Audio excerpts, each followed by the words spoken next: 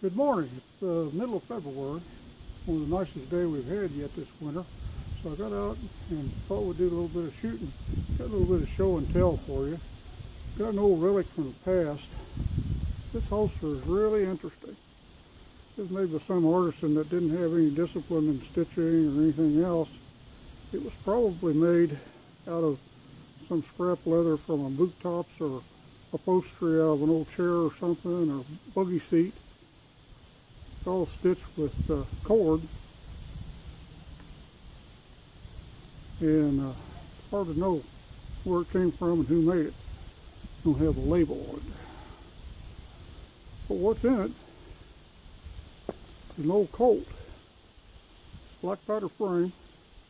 Came out in 1881. Came with a letter on it that screwed a hold of the uh, base pin in it's a Frontier six shooter. Now, the letter says, and it originally came out with a seven and a half inch barrel, and it would have had etched Frontier six shooter on this side. So some things have been going on here, and uh, this is a roll stamp that's typical probably in in 1920 to 1940 before they quit making the first generation, just my guess. Could have been built after that, but it looks like those parts. The sight looks factory, and it's in the right place, and the right shape and everything for a factory barrel a five and a half inch barrel, but it's only four and a quarter long. And the nickel on the end of the barrel is still there in good shape.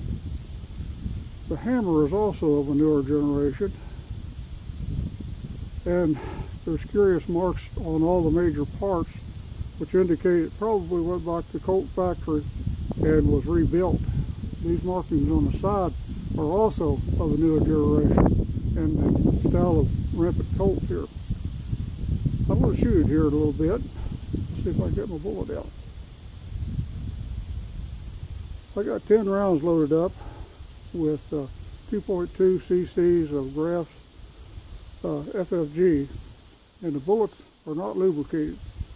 Uh, I don't have a proper black powder lubricant at this time, but I have Thompson's bore butter, and I'll uh, top off the cylinder with a little bit of bore butter on each each round, and hopefully that'll get me by.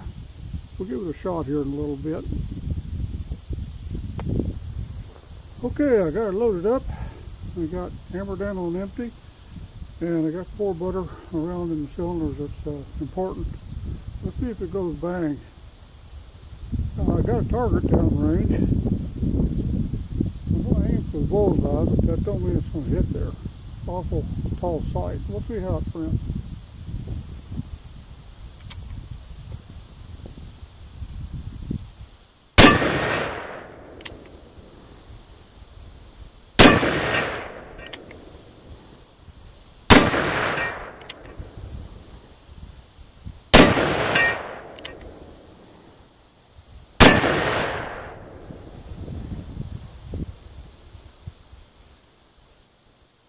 Well, that was cool.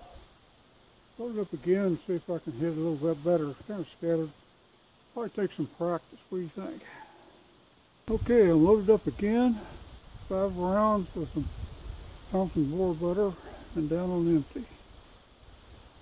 Try this another time.